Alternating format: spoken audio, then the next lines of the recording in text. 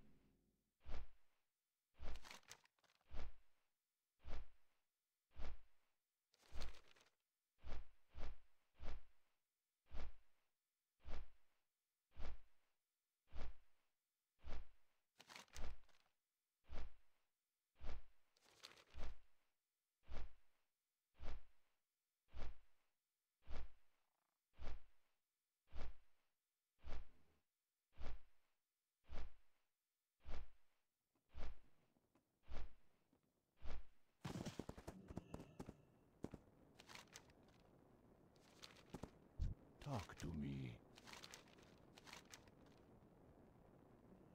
Stay away from the